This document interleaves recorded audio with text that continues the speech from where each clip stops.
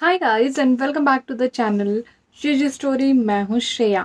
दोस्तों, बहुत सारी मुझे कमेंट्स आते हैं इंस्टाग्राम पे भी और कमेंट्स में भी बहुत ज़्यादा प्रॉब्लम होती है हमारे बालों को लेके। हम बहुत ज़्यादा इनसिक्योर हैं क्योंकि आज की लाइफस्टाइल जो है, उस हिसाब से अगर देखा जाए तो बाल की जो देख रेख है, उस हिसाब से हम नहीं कर पाते। ना हम ज़्यादा हेल्दी खाते हैं, ना हम बहुत ज़्यादा हेल्दी लाइफ जीते हैं।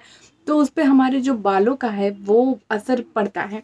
हेयर फॉल होता है, बाल जो हमारे हैं, बहुत डैमेज हो जाते हैं, उनकी शाइन चली जाती है नेचुरल और प्लस हमारा जो हेयर ग्रोथ है, वो नहीं हो पाता ठीक से।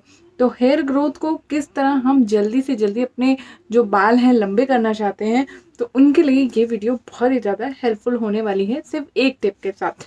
यहाँ मैं कोई बहुत लंबी सी रेमेडी नहीं बताने वाली हूँ, बहुत ही शॉर्ट में बात करेंगे। चलिए देखते हैं वो रेमेडी क्या है और उसके लिए हमने क्यों इस चीज़ को चुना है। अगर वीडियो अच्छा लगे ना तो प्लीज़ चैनल को मैं सब्सक्राइब लाइक शेयर ज़रूर करते जाइएगा इसी तरह की नई अमेजिंग वीडियोस के लिए। इंस्टाग्राम अकाउंट ये रहा हैंडल वहाँ पे भी आप मुझे क्वेश्चन पूछ सकते हो, मुझे फॉलो कर सकते हो। सो लेट्स गेट स्टार्टेड तो अभी हम आपको बता रहे थे कि हेयर ग्रोथ जो है, उसको आप किस तरह से पास कर सकते हो, अपने लंबे बाल करना चाहते हो, आपके बात, बालों की जो ग्रोथ है वो उतनी अच्छी नहीं है। तो हम क्या कर सकते हैं? उसी के साथ साथ बालों में शाइन किस तरह से ला सकते हैं? हमारे बाल जो है स्ट्रॉन्ग किस तरह से हो सकते हैं? इन सब के लिए एक बहुत ही परफेक्ट सॉल्यूशन है हमारे पास, जो कि है एलोवेरा जेल वैसे तो ये ब्रांड का है एलोवेरा जेल अगर आपके पास नेचुरल प्लांट से आप एलोवेरा जेल को निकालते हैं, वो बहुत ही ज़्यादा अमेजिंग है, क्यों क्योंकि उसमें देखिए, कोई भी आपको प्रिजर्वेटिव्स नहीं मिलेंगे, उसमें कोई भी केमिकल कोई भी स्मेल के लिए फ्रेग्रेंस कुछ भी यूज़ नहीं किया जाता और बहुत नेचुरल है। इनमें से आप काफ़ी ले सकते हो। वैसे मैं ये पतंजलि का है। अच्छा है, इसको यूज़ करते हुए मुझे बहुत साल हो गए हैं। इससे मुझे कोई प्रॉब्लम नहीं हुई, कोई तरह की इरिटेशन नहीं हुई। इसलिए मैं ज़्यादातर इसे यूज़ करती हूँ। साथ में अफोर्डेबल भी है।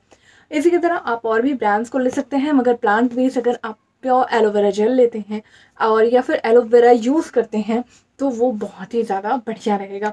एलोवेरा हमारे जो बालों के ग्रोथ के लिए बहुत अच्छा है, हेयर फॉल के लिए भी बहुत अच्छा है कि हेयर फॉल को रोक देता है और इसी के साथ साथ नेचुरल कंडीशनिंग का भी काम करते हैं, हमारे बालों को शाइनी बनाता है।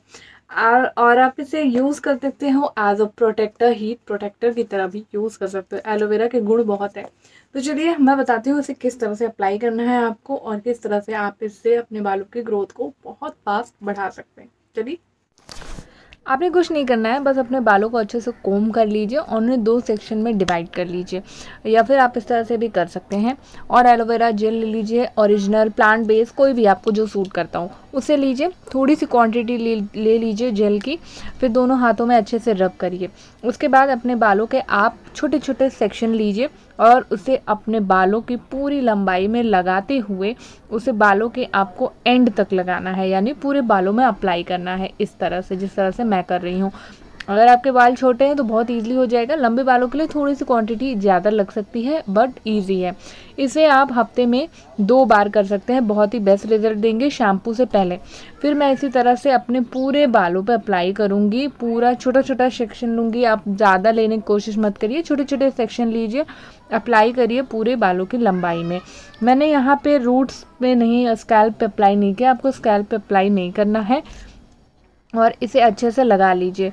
हाँ ध्यान रखिए ऑयलिंग की हो तो मत करिएगा, क्योंकि फिर आप इसे बिना ऑयलिंग के ही करिए।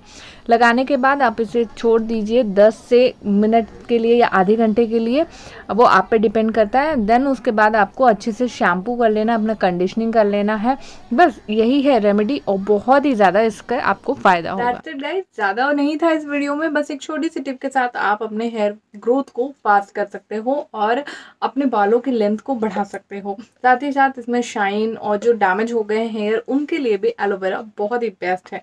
तो चलिए, नए वीडियो में फिर से मिलेंगे किसी नई चीज़ के साथ। तब तक के लिए bye love you see you soon